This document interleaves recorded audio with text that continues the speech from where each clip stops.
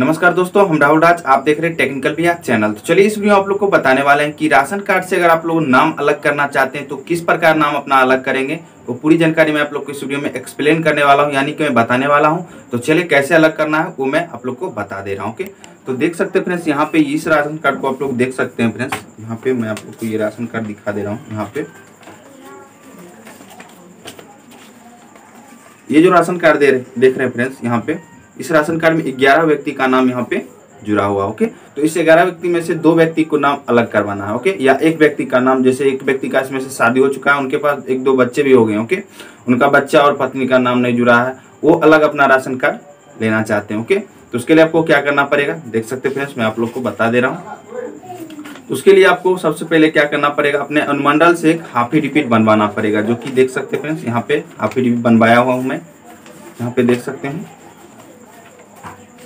ये देख सकते फ्रेंड्स हाफी रिपीट जो है सो अनुमंडल से मैं बनवाया हुआ हूँ ओके एक हाफी रिपीट आपको बनवाना पड़ेगा अपने अनुमंडल से ओके और यहाँ पे देख सकते फ्रेंड्स जो कि फॉर्म जो देख रहे हैं, ये जो फॉर्म ये फॉर्म आपको फिल करवाना पड़ेगा ओके या फिल करना पड़ेगा खुद से ओके तो इस फॉर्म में क्या क्या फिल करना है, मैं आप लोग को कंप्यूटर स्क्रीन पे बताऊँगा कि आपको इस इस फॉर्म में क्या क्या फिल करना है, जो कि आपको तीन फॉर्म दिया जाएगा। इसमें देख सकते हैं फ्रेंड्स जो भी आपके पास अगर लागू, जैसे कि आपको तीन पहिया या चार पहिया गाड़ी इसमें टिक लगवाना पड़ेगा और बहुत सारे ऑप्शन दिया गया है। तो आपको इसमें से क्या क्या ऑप्शन में टिक करना है क्या क्या नहीं करना है, वो आप लोग को मैं बताऊँगा ओके और यहाँ पे देख सकते हैं जो कि घोषणा पत्र है, यहाँ पे यहाँ पे, ये जो देख सकते हैं घोषणा पत्र है, इसको भी आपको जो है सो सिग्नेचर करना पड़ेगा दो जगह ओके और यहाँ पे ऊपर में भी टिक मार्क करना पड़ेगा ओके तो क्या क्या इसमें क्या क्या करना है, वो मैं आप लोग को आगे स्क्रीन पे दिखाने वाला हूँ कंप्यूटर स्क्रीन पे ओके तो और मैं बताना चाहूँगा फ्रेंड्स कि आप लोग को इसमें अलग करवाने के लिए क्या क्या डॉक्यूमेंट्स लगेगा ओके तो देखिए, सबसे पहले ये जो फॉर्म है, यहाँ पे देख सकते हैं फ्रेंड्स ये फॉर्म ये फॉर्म आपको मार्केट में मिल जाएगा कहीं भी ओके फ्रेंड्स इसके बाद आपको यहाँ पे एक हाफी रिपीट जो है सो बनवाना पड़ेगा, ये हाफी रिपीट ओके उसके बाद आपको मैं बता देना चाहूँगा कि जिस राशन कार्ड से आप नाम अलग करवाना चाहते हैं, उस राशन कार्ड का जो है सो छाया प्रति यानी का फ़ोटो कॉपी आपको लगाना है ओके जहाँ पे नाम होता है, वो पेस्ट को आपको लगवाना पड़ेगा ओके उसके बाद आपको क्या करना है यहाँ पे? एक बैंक पासबुक जिसके नाम से आप राशन कार्ड लेना चाहते हैं, उस बेनिफिशियरी का नाम का एक बैंक पासबुक को फ़ोटो कॉपी यहाँ पे लगवाना पड़ेगा ओके उसके बाद आपको क्या करना है? जितने भी व्यक्ति हैं आप अपने घर में, उन सभी व्यक्ति का आधार कार्ड जो है सो देना पड़ेगा ओके देख सकते हैं जो कि मैं यहाँ पे लगाया हुआ हूँ। इसी प्रकार आपको भी सारा व्यक्ति का, जिन जिन व्यक्ति का नाम वहाँ पे ऐड करवाना चाहते हैं नए राशन कार्ड में, उस व्यक्ति का आधार कार्ड का फ़ोटो कॉपी सबका लगेगा ओके फ्रेंड्स तो आप लोग जान चुके हैं कि क्या क्या आप लोग को डॉक्यूमेंट लगेगा, आप लोग को अगर राशन कार्ड अलग करवाना चाहते हैं ओके तो चलिए स्टेप बाय स्टेप अपने कंप्यूटर स्क्रीन पे बताते हैं आप लोग को कि इसमें आपको क्या क्या फिल करना पड़ेगा ओके तो चलिए स्टार्ट करते हैं। तो चलिए फ्रेंड्स आ चुके अपने कंप्यूटर स्क्रीन पर। यहाँ पे देख सकते हैं प्रपत्र भरना, वो भी आपको पूरी जानकारी मैं इस वीडियो में आप लोग को देने वाला हूँ ओके तो यहाँ पे एक नंबर में क्या करना, आप लोग को आवेदक का नाम, जिसके नाम से राशन कार्ड बनवाना चाहते हैं, उसका नाम यहाँ पे लिख देना ओके उसके बाद उनका आधार नंबर यहाँ पे डाल देना ओके उसके बाद यहाँ पे मोबाइल नंबर डाल देना है उसके बाद आपको यहाँ पे आवेदक के पिता या पति का नाम यहाँ पे डाल देना ओके जिसके नाम से आप राशन कार्ड बनवाना चाहते हैं, उसका पिता या पति का नाम यहाँ पे डाल देना ओके उसके बाद यहाँ पे पूर्ण आवासीय पता ओके तो यहाँ पे आवासीय का पता यहाँ पे जहाँ पे आप लोग अभी रह रहे हैं, उसका पूरा पता यहाँ पे डालना है, ओके? उसके बाद यहाँ पे क्या करना, बैंक का एफ़ कोड जो होता है, यहाँ पे आपको डाल देना ओके फ्रेंड्स?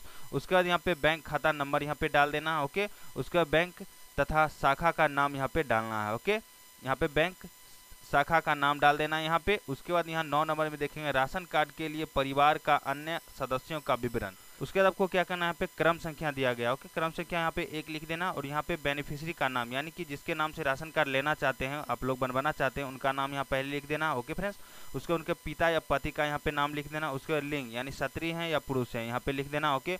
उसके बाद उनका उम्र लिख देना यहाँ पे, उसके बाद यहाँ वैवाहिक स्थिति, ओके? यहाँ पे विवाहिक है तो यहाँ पे विवाहिक लिख देना है, नहीं तो यहाँ पे अविवाहित लिख देना, ओके? उसके बाद संबंध ओके फ्रेंड्स तो यहाँ पे संबंध भी दर्शा देना है, ओके?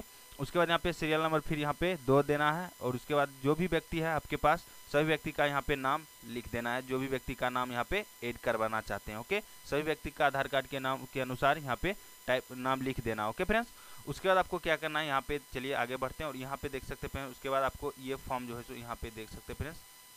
उसके बाद दूसरे पेज में आपको यहाँ पे क्या करना है? यहाँ पे आधार नंबर डाल देना, उसके बाद यहाँ पे मोबाइल नंबर डाल देना, उसके बाद व्यवसाय, सरकारी आय से यहाँ पे हो रहा है तो यहाँ पे लिख देना ओके फ्रेंड्स उसके बाद आमदनी का सत्रह यहाँ पे लिख देना मानसिक आय आपका कितना होता है, साल में कितना आय होता है, वो यहाँ पे लिख देना ओके फ्रेंड्स उसके बाद नीचे आएँगे, नीचे आने के बाद यहाँ पे देखेंगे फ्रेंड्स आपको लिखा हुआ मिलेगा, ग्रामीण क्षेत्र, प्रवास, जन्म विवाह, सामाजिक और आर्थिक परिस्थिति, परिवर्तन के कारण आवेदक निम्नलिखित पर हाँ या नहीं पर टिक लगाएँ ओके तो यहाँ पे जो भी चीज़ आपके पास है, वो यहाँ पे टिक कर देना, ओके फ्रेंड्स? नहीं है तो नहीं में टिक करना, अगर है तो हाँ में टिक करना, ओके? तो यहाँ पे देख सकते फ्रेंड्स, यहाँ पे मोटर चालित, तीन पहिया, चार पहिया वाहन है तो यहाँ पे टिक कर देना, यस, नो का चिन्ह लगाना, यस का, ओके? उसके बाद यहाँ पे नहीं है तो यहाँ पे नो पे चिन्ह लगाना, ओके? टिक करना है ओके? उसके बाद यहाँ पे मानसिक चालित तीन, चार पहिया वाले कृषि उपकरण है अगर है तो यहाँ पे हाँ करना है हाँ में टिक लगाना, नहीं तो नो पे टिक लगाना, ओके फ्रेंड?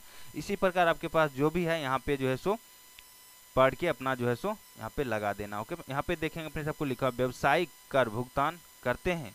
तो यहाँ पे जो है सो, नो करना है या यस करना है, आप देख लेंगे, अगर व्यवसायिक कर भुगतान करते हैं तो यस करना, नहीं तो नो करना, ओके फ्रेंड्स? उसके बाद आयकर देता है, अगर देता है तो हाँ या नहीं तो नो, ओके फ्रेंड्स? उसके बाद यहाँ पे देख लेंगे, पढ़ के अपना जो भी आपको, इसमें से मिल रहा है लाभ, वो सभी लाभ को यहाँ पे अगर मिल रहा है तो यस करना, नहीं तो नो कर, नो करना। ओके फ्रेंड्स इसी प्रकार यहाँ पे सारा चीज़ वहाँ पे, यहाँ पे वही सब के बारे में दिया गया है। तो आप लोग जो है सो, उसके बाद नीचे में देखें, परिवार के किसी सदस्य का मानसिक आय बीस हज़ार रुपये से अधिक है। अगर आपके परिवार के सदस्य में कोई भी व्यक्ति बीस हज़ार रुपये से अधिक कमाते हैं मंथली में तो आपको यहाँ पे यस करना, नहीं कमाते तो नो कर देना, ओके फ्रेंड्स? चलिए, तीसरे पेज में लेके चलते हैं। यहाँ पे देख सकते हैं, तीसरा पेज जो आपको मिलेगा, घोषणा प्रमाण पत्र, ओके फ्रेंड्स?